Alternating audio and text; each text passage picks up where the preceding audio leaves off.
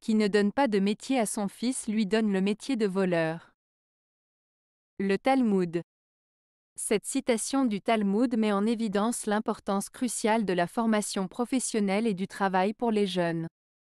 Éduquer un enfant et l'aider à acquérir les compétences nécessaires pour trouver un emploi durable est un investissement dans sa vie future et dans la société en général. Si un parent ne prend pas le temps et ne consacre pas les ressources nécessaires pour aider son enfant à se développer professionnellement, cet enfant peut se retrouver dans une situation précaire, sans travail ni perspective d'avenir, et cela peut le pousser à se tourner vers des activités illicites pour survivre.